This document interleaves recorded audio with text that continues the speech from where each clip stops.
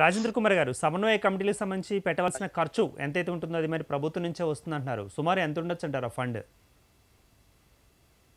ఎక్కువ ఉంటదండి.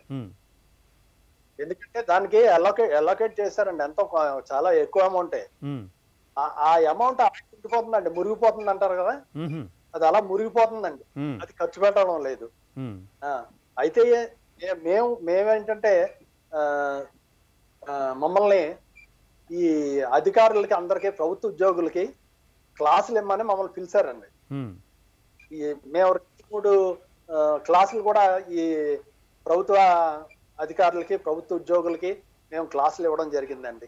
వాళ్ళకి చెప్పడం జరిగింది. పూర్వం ఏంటి అదేంటి ఏంటి మనం ఏం చేయాలి మీ దగ్గర ఏ రికార్డులు ఉండాలి ఎలా ఉండాలి ఇవన్నీ కూడా మరి వారికి చెప్పడం జరిగిందంటే ఎందుకంటే వారి దగ్గర ఒక పుస్తకం లేదు ఆ పుస్తకంలో ఉన్న న్యూస్ వారికి తెలియదు ఏం చేయాలో రాదు ఇవన్నిటిని కూడా వాళ్ళు పట్టించుకోరండి. అసలు సమాచార హక్కు చట్టం అంటే దాని గురించి మనకు పెద్ద ఏంటి అనే దీంట్లోనే ఉంటున్నారు కానీ ఈ చట్టం యొక్క విలువ వారికి తెలియడం లేదండి.